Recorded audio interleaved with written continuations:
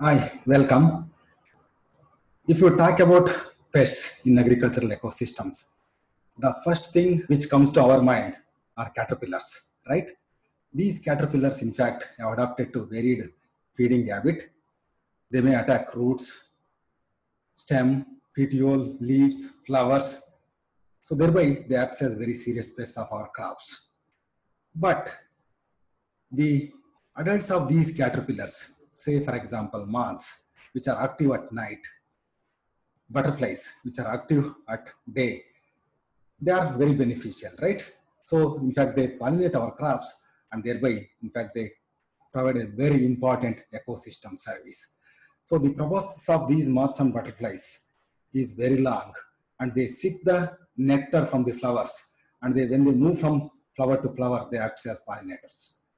But now, if I say that some of the moths act as pests, probably you may feel that it is unnatural or weird thing.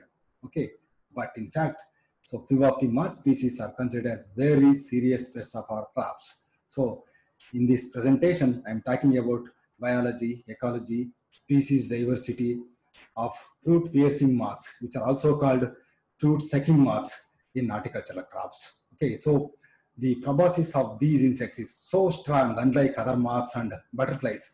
Thereby, they in fact pierce the rind of the fruits and sucks the juice of the fruits. Thereby, they act as pests. Okay, so the important crops which are attacked by these fruit-sucking moths or fruit-piercing moths are orange, mosambi, pomegranate, banana, tomato, guava, grapes, mango, papaya, custard apple, star fruit, the list goes on.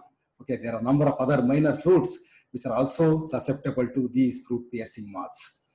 Okay, so whatever may be the fruits, the moths directly come and alight on the fruits at night hours and they pierce the rind of the fruits with strong proboscis and you know, sucks the juice.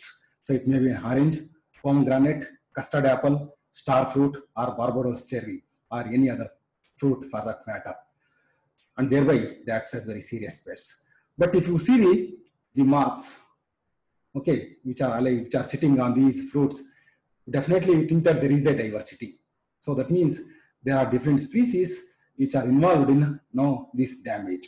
So which are all these, you know, the species which are involved in you know, you know, causing damage. So in fact, which are all the species which infest these fruits are primarily classified as primary fruit piercer and secondary fruit piercer. Okay, primary fruit sucking moths or secondary fruit sucking moths.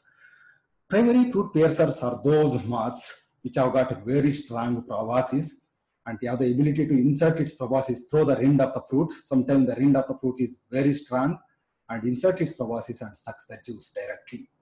Whereas the secondary fruit piercers are those moths which, which do not have a strong proboscis and cannot pierce its you know, proboscis through the hard rind of the fruit and sucks the juice. But so whenever the primary fruit piercers damage and goes, know, feed and goes, okay, when insert its proboscis, sucks the juice and goes. So normally the fluid will be coming out, the juice will be coming out through that wall. Okay, so that juice will be eaten by these secondary fruit piercers. Uh, sometimes there may be mechanical damage or bird damage or you know, the fruits may open up because of various other you know, reasons. So such fruits may be eaten by the secondary fruit piercers. That is the difference between primary fruit piercers and secondary fruit piercers. So majorly the primary fruit piercers belongs to family Erebidae, okay, and subfamily Calpinae. So earlier, in fact, if you refer old literature, so most of these primary fruit piercers were placed under the family Noctuidae. Okay, so very important thing. So recently it was shifted to Erebidae. So commonly they are called woolly or the caterpillar family. Okay, so let us see some of the primary fruit piercers and their no, identification features. So the first species is Eudocima homaena, which was earlier referred as Othreis ancilla. So you can see here, the forewing has got no differentiating characters, whereas the hindwings are same. So there is a sexual dimorphism across male and female, but through the characters of forewing, the sexes can be differentiated. Okay, so here you can see the forewing is uniformly brown, whereas the forewing of female is brown color, but there is a longitudinal olive green band. And also there is a subterminal green band the striped green band is found. So thereby you can differentiate the sexes, the male and female. Whereas the hind wing is same in both the sexes. There is a submarginal black band and there is a large black lunule or kidney shaped structures are present on orange colored hind wings. So thereby you can identify this Eudocima homaena. So the second species is Eudocima phalonia, which was earlier referred as Eudocima fullonica. Here the forewing of male is light brown, uniformly light brown in color, whereas the forewing of female is highly variegated. So there are a lot of markings are there. You can see maybe no red, brown, green specks, and also white specks are found on the forewing. Okay, thereby you can differentiate these two sexes. Whereas the hind wing, so orange colored, and there is a marginal black band, and also there is a black lunule. Okay, thereby you can differentiate now uh, male and female with these now forewing characters, whereas hind wing characters are same. So next, Eudocima materna, again the characters of forewing. The forewing of male is mottled with grayish green color. Okay, there is a dark oblique line. Okay, so from the apex of the forewing which runs to the center of the inner margin. Okay, these lines. Thereby, the male can be recognized, whereas the female has got mottled and striated with green, black, and white lines. So there are a lot number of lines, but there is a very prominent silver streak is found. Okay, in almost in the middle region of uh, the forewing in case of female. Thereby, you can differentiate the male and female, whereas the hind wing of both the sexes are same. Okay, there is a marginal black band and there is a black circular spot in both in case of male and female.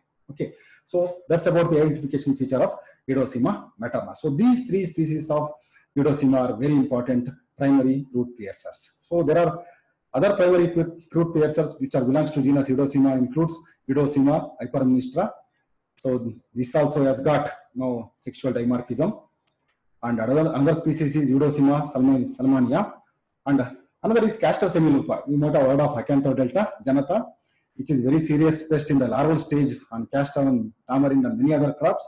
But as adult, it acts as fruit piercing moth. Okay, so these are all the primary root piercing moth. Okay, other than these three Eudocima, so Eudocima hypermnestra and Eudocima salaminia and Acanthodelta janata are primary root piercing moths.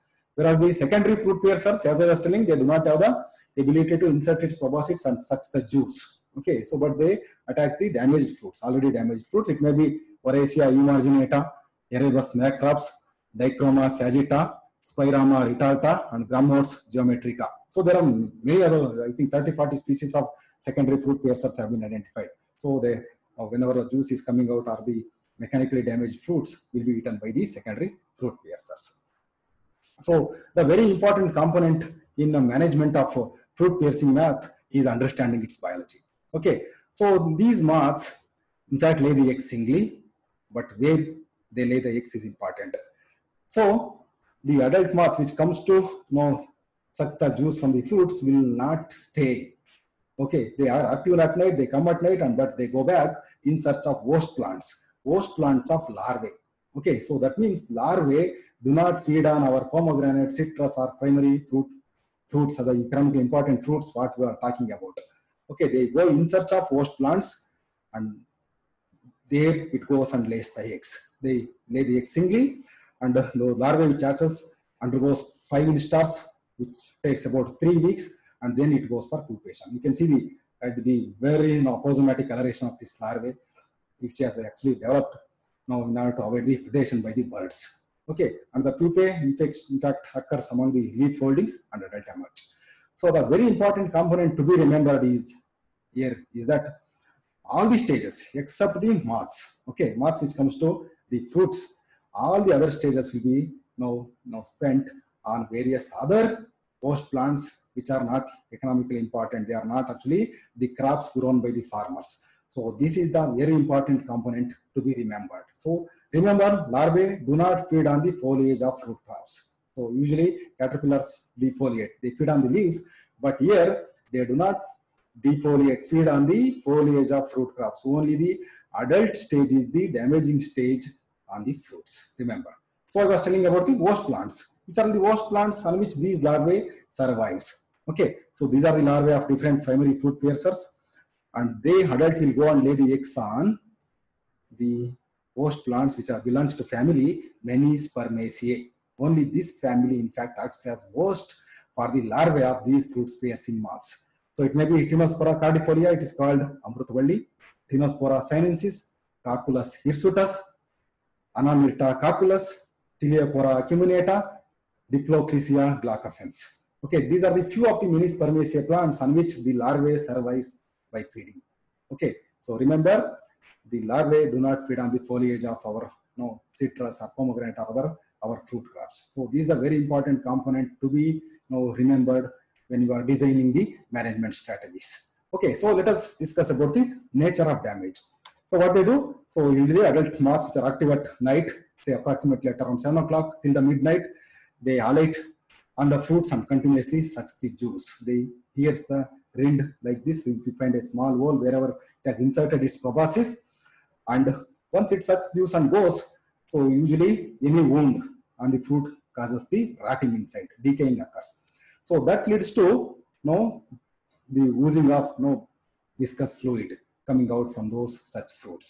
Okay, so secondary infection occurs, bacterial fungal infection occurs. As a result, rotting occurs and the fruit fall. The fruit actually falls. So the nature of damage includes the rind, pierce the rind of the fruits and sucks the juice through the long proboscis. Secondly, secondary infection occurs, bacterial fungus infection occurs. That leads to rotting of fruits and later the fruits fall down. So either it may be pomegranate or citrus or any other fruit, guava or any other fruit for that matter. So this is the nature of damage, in fact. Okay. So it may be star fruits. You can see here when they damage, so they alate like this. They sit on the fruit and they suck the juice, and as a result, the decaying occurs and they fall down. Okay. So or for example citrus. So this is how they suck, and wherever it has inserted, you can see the brownish discoloration occurs like this. Okay. So as a result of that, fruit falling occurs. So it is in case of citrus or in case of tomato as well. Okay. So active at night, they suck the juice and as a result, fruit rotting occurs, they fall down. Okay. So this is the common symptom across different host plants or food crops in which the damage. So let us see what characters make these moths as pest. I was telling that most of these moths and butterflies have got long proboscis. They sip the nectar, thereby they act as pollinators. But these moths, which are belongs to subfamily Calpinae of Erebidae, acts as fruit piercing moths. How it is possible? So it's actually because of this long proboscis which is there is very hard. Okay, you can see there it is very sharp and it is it has got tooth.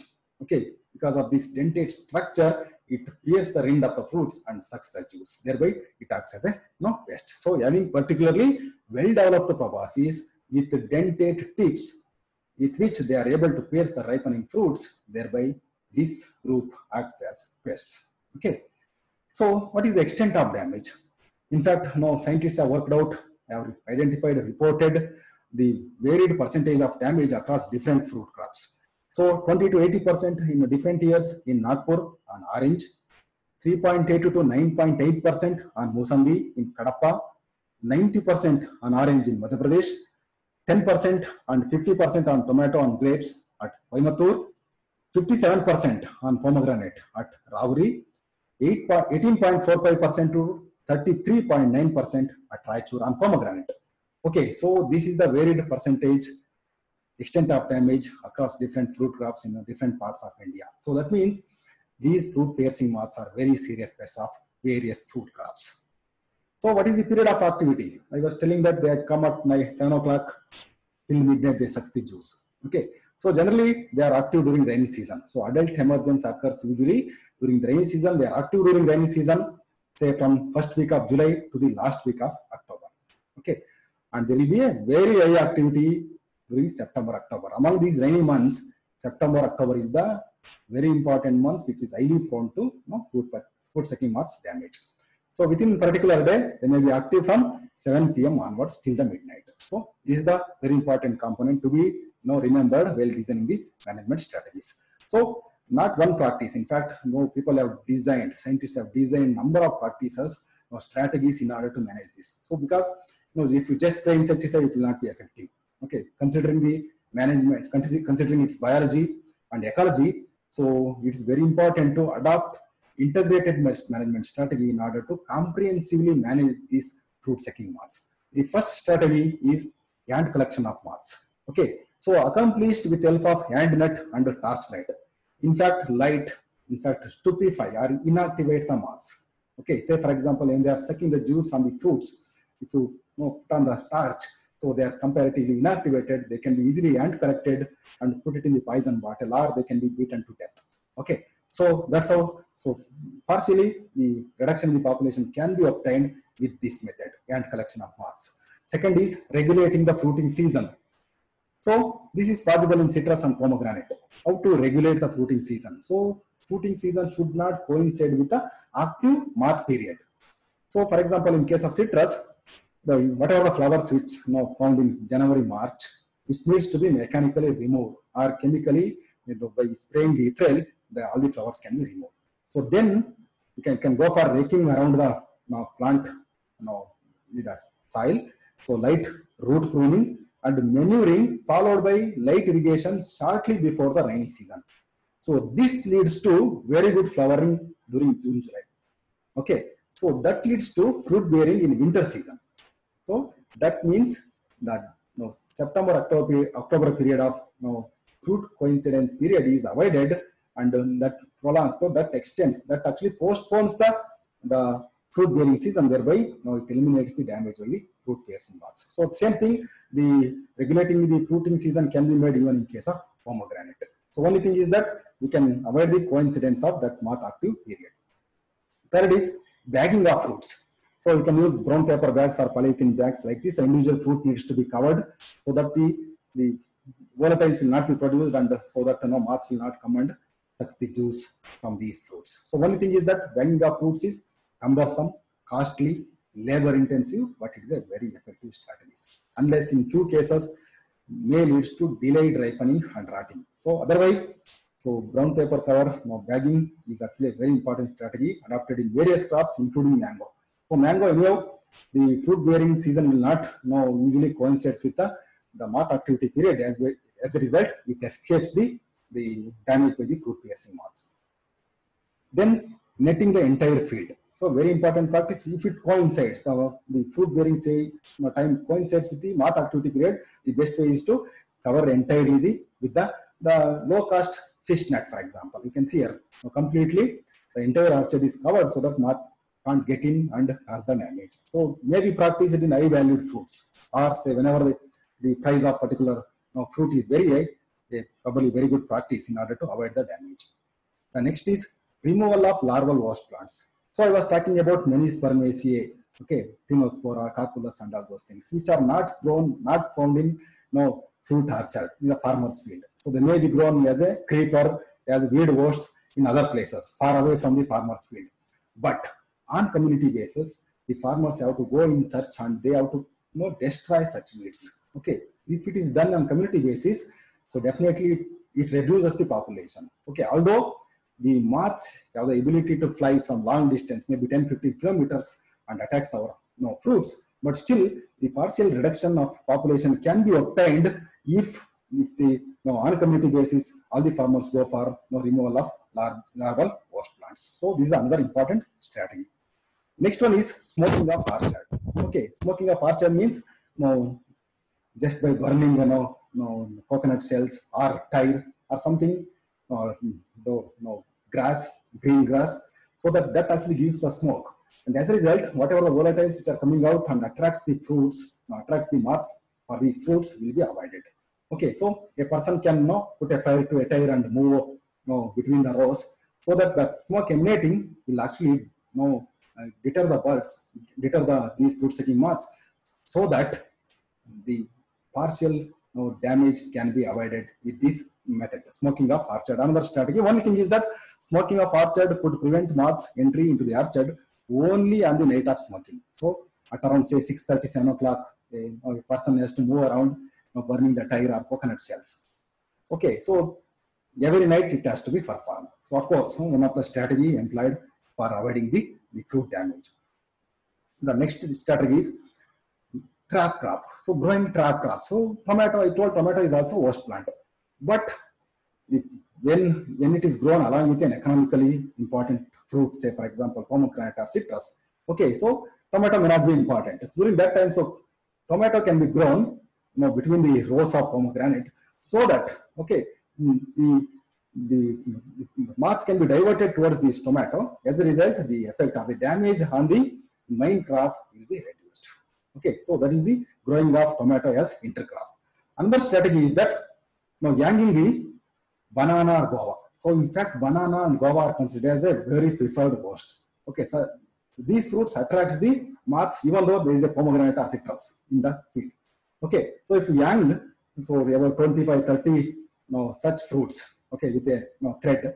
These moths you know, comes and alight on these you know, guava or the mango on the banana so that so farmers can monitor only such young fruits and whatever the fruit, you know, moths which are attracted towards those fruits can be collected and collected and destroyed. Okay, so this is another strategy which can be employed. The next strategy is illuminating the orchard. So illuminating the orchard means putting the light, focus light, for example.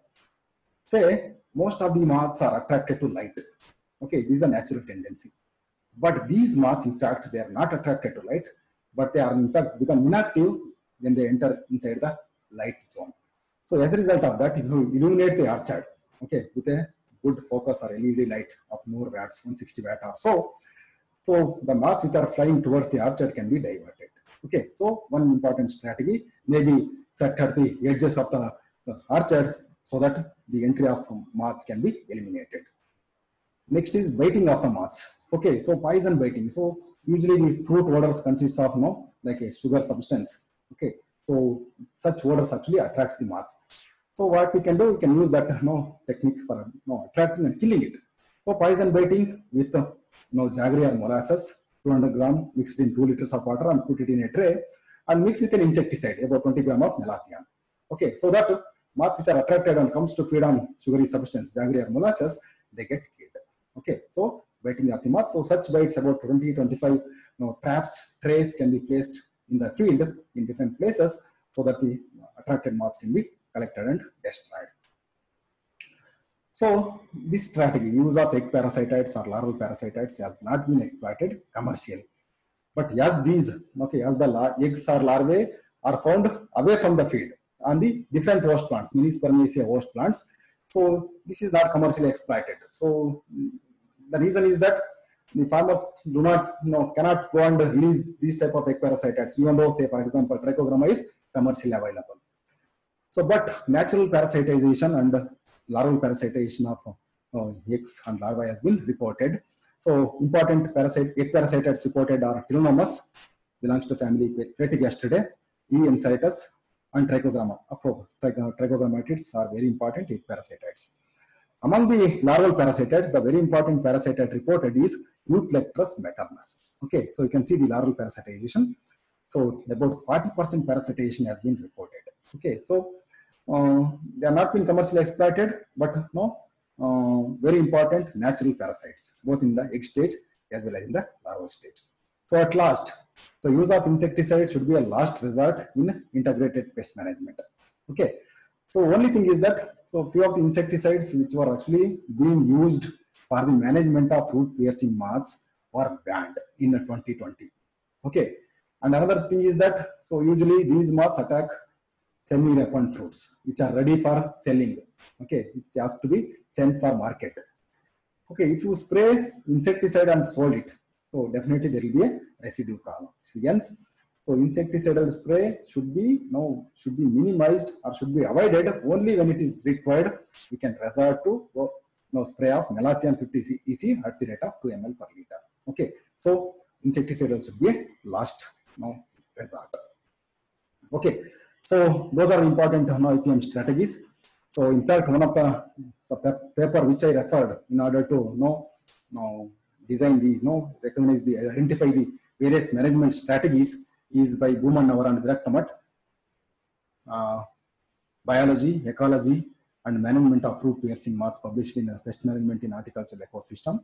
And I was talking about netting the entire field, which can, which is also becoming a very important practice nowadays because of the, the cost of these fruits, and the price of the fruits is also comparatively good. So in fact, there are a number of research institutes uh, which working on various fruit crops, maybe IHR Bangalore, uh, ICR CICR, Central Institute of Citrus Research, Nagpur, NRC Pomegranate, no, Solapur, and uh, whenever the uh, there is a problem. So correct identification or diagnosis is very much important. So that's why farmers know, need to visit nearby know, state agriculture universities and horticulture department and then correctly diagnose it and then go for management strategies. Okay. So that is a very important thing before taking any management strategies. So uh, thank you. Thank you very much. If there are any questions, you can post below or you can email me as well. So thank you. Thank you very much.